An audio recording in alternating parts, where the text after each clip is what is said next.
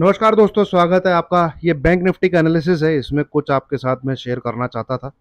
Bank Nifty ठीक है? Bank Nifty का एनालिसिस है। यहाँ पे काफ़ी चीज़ इंपॉर्टेंट है और अच्छा खासा ट्रेड हमें आने वाले वीक्स में मिल सकता है। कंडीशन जो मैं बोलता हूँ जैसा मैं बोलता हूँ अगर वो डेवलप होती हैं चार्ट पे आ, उस प्रकार से ही प्रिडिक्ट हो पाती हैं जिस हिसाब जिस हिसाब से मुझे दिख रहा है तो एक अच्छा खासा मूव हम कैप्चर कर सकते हैं। ठीक है। चलिए, शुरू करने से पहले ये एक बार डिस्क्लेमर को देखते हैं दोस्तों। इसको ज़रूर पढ़िए, इसको ज़रूर देखिए। जो भी मैं बोल रहा हूँ मेरा पर्सनल व्यू है बाई सेल रिकमेंडेशन इस वीडियो के द्वारा किसी को नहीं दी जा रही है। यहाँ पे सबसे पहले मैं आपको ले जाना चाहूँगा दोस्तों मंथली चार्ट पे। थोड़ा सा समझिएगा, मुझे निफ्टी का चार्ट भी खोलना पड़ेगा इसके लिए। समझिएगा थोड़ा सा देखिए, ये मंथ है आपका जून थोड़ा सा मैं इसको ऐसे करता हूँ, है ना? ऐसे ऐसे। नहीं हो पाएगा क्या? हाँ ठीक है। ये मंथ है आपका मई मंथ। मई मंथ ही है ना ये? नहीं मई मई हुआ ये। ये आपका जून मंथ, जिसमें वो रिज़ल्ट आया था। वो नीचे की तरफ़ हमने फोर्टी सिक्स थाउज़ेंड के आसपास बैंक निफ्टी को देखा था। इसमें क्या है? जुलाई मंथ की जो कैंडल बनी है, ये जो जुलाई मंथ है, जुलाई मंथ की जो कैंडल बनी है, वो एक रेड कलर की कैंडल बनी है, ये। और इसी में हमारा एटीएच भी आया है। ठीक है? अब यहाँ पे आप निफ्टी को देखेंगे इसी जगह, निफ्टी को अगर मैं मंथली चार्ट फ्रेम में लगाता हूँ तो हमने जो एटीएस देखा है, वो हमने कौन से मंथ में देखा है? अगस्त की पहली तारीख को।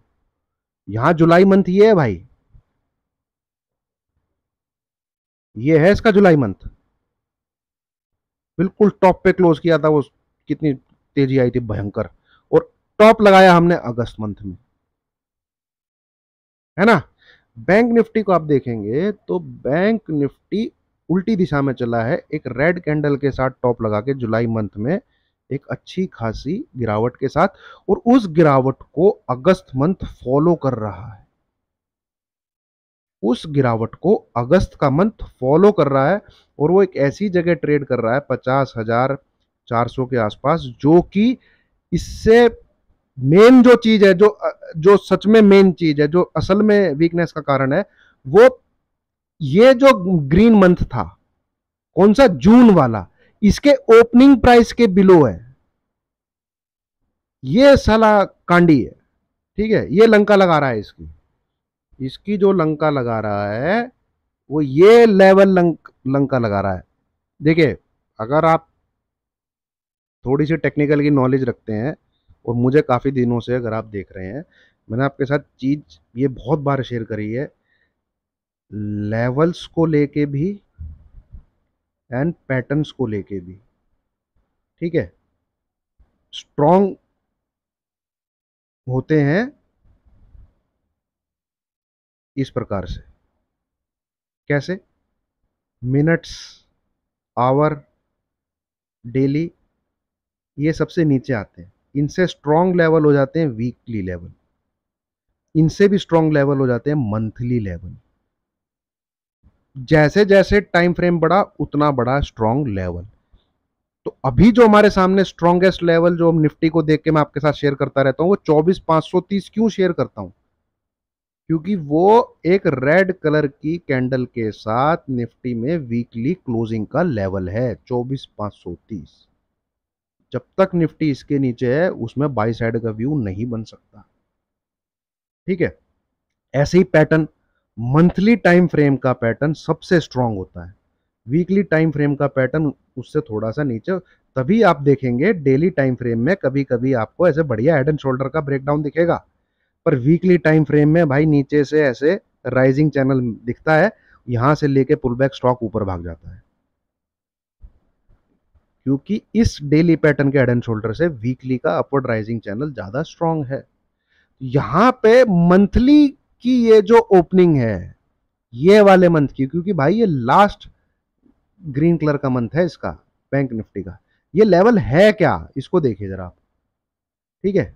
ओपनिंग दिखेगी आपको इधर। Fifty thousand eight eighty nine. क्या है fifty thousand eight hundred eighty nine? ये, भैया, अब तक तो मैं इक्यावन हज़ार एक सौ, दो सौ, तीन सौ की बात कर रहा था आपसे। अब तक जो मैंने बैंक निफ्टी का जब भी एनालिसिस आपके साथ शेयर किया है, कि भाई ये इसके सेलिंग के लेवल है, अगर ये है, यहाँ तो सेलिंग का लेवल है, ठोकना ही है अगर इधर की तरफ़ आता है।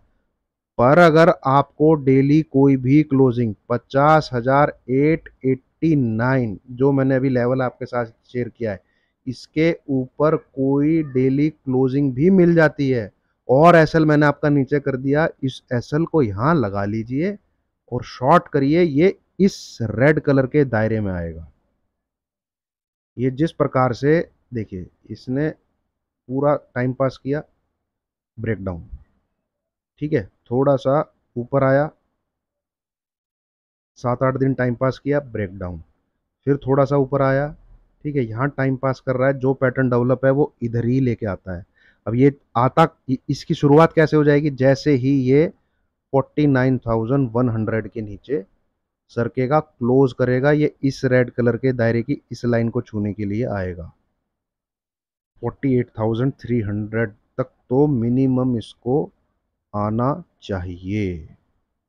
ये बड़े टाइम फ्रेम ही बोल रहे हैं। मैं छोटे टाइम फ्रेम की बात नहीं कर रहा हूँ।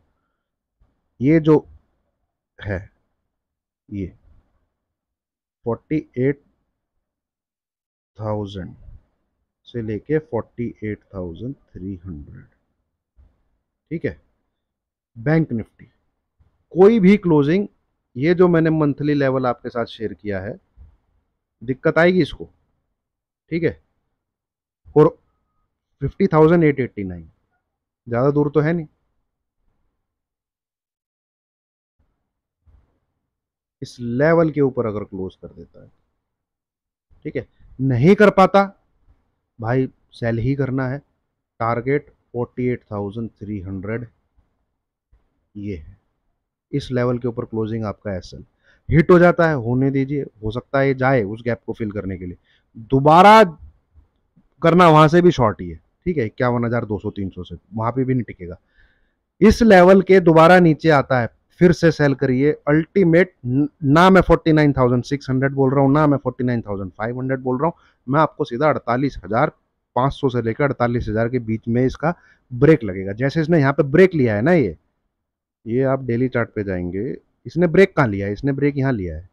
इसने एक ब्रेक यहाँ लिया था। ठीक है, चलिए, ये तो टॉप पे कंसोलिडेशन है। गिरा इसने ब्रेक कहाँ लिया? यहाँ लिया। ठीक है? गिरा इसने ब्रेक कहाँ लिया? यहाँ लिया। गिरेगा, ये ब्रेक यहीं लेगा।